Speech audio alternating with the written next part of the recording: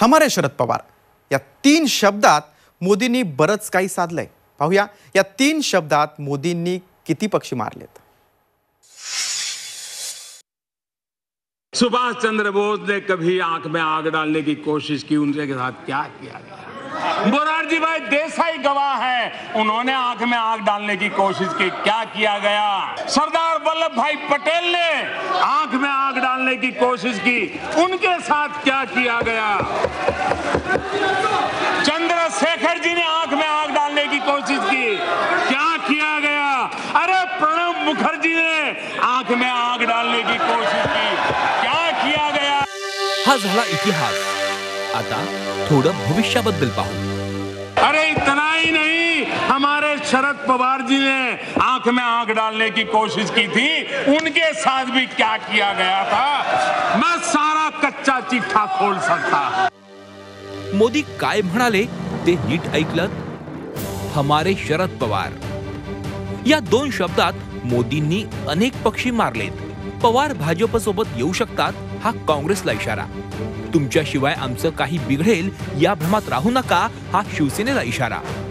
सध्या पवार कधी उद्धवना भेटतात कधी राज ठाकरेंसोबत व्यासपीठावर दिसतात त्या सगळ्या राजकीय पक्षांना इशारा.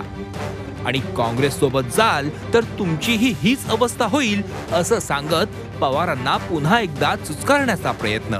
हा एक प्रकारे आपल्या मुख्य शत्रूच्या विरोधात दुसऱ्या आपल्या त्यांच्या मित्राच्या किंवा त्यांच्या शत्रूला वापरून घेऊन आप आपल्या मुख्य शत्रूला नामोहरम करणं म्हणजे दुसऱ्याच्या हातून तिसऱ्यावर वार करणं नथीतून तीर मारणं हे जे काही तशा प्रकारचा हा प्र प्रकार आहे या पलीकडे या स्तुतीला आपण घेऊ नये. याचं कारण कितीही भाजपने राष्ट्रवादीची स्तुती केली किंवा त्यांना काही शिल्ड केलं तरीही महाराष्ट्रात भारतीय जनता पार्टी आणि राष्ट्रवादी यांची युती होईल का?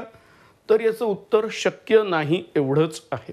दोन हजार एकोणीस साली भाजप विरोधी पक्षांची मोड बांधली जावी आणि त्याचं नेतृत्व आपल्याकडे यावं ही पवारांची सुप्त इच्छा लपून राहिलेली नाही. पण राहुल गांधी पवारांचा हा मनसुबा यशस्वी होऊ देत नाहीयेत. अविश्वास प्रस्तावावेळी सुप्रिया सुळेंनी भाषण करण्याऐवजी तारिक अनवर यांनी भाषण करणं यामध्येही भविष्याचे संकेत दडलेले असू शकतात. मोदी जेटली नायडू यांनी बारामतीत वारी केली आहे यातून शरद पवारांवरचा भाजपचा विश्वास दिसून आलाय. कुणाच्या सोबत जायचं याचा निर्णय निवडणुकीनंतर होणार असं शरद पवारांनी एका मुलाखतीत सांगितलं होतं. अविश्वास ठरावादरम्यान राष्ट्रवादीतर्फे सुप्रिया सुळे यांनी तोंडावर बोट ठेवल्यामुळे निवडणुकीनंतर पवारांचा कल कोणत्या पक्षाकडे असणार याचा पुरावाच मिळालाय. आधीच राष्ट्रवादी पक्षाच्या नेत्यावर चौकशा सुरू आहेत. त्यात मोदींविरोधात सभागृहात आवाज उठवणं हे परवडणारं नसल्यामुळे सुप्रिया सुळे यांनी चर्चेत सहभाग घेणं टाळलं असल्याची राजकीय वर्तुळात चर्चा आहे. यापूर्वीही गुजरात निवडणुकीत राष्ट्रवादीमुळे भाजपला फायदा झाल्याचं दिसून आलंय. पवार ज्यांच्या बरोबर असतात ती जमेची बाजू असतेच. पण पवार बाजूनं नसतील तर तो मोठा धोका असू शकतो हे काँग्रेसही जाणून असेल. एकंदरीतच हमारे शरद पवार म्हणत मोदींनी दोन हजार एकोणीसच्या राजकीय गणितांमध्ये ट्विस्ट आणलाय.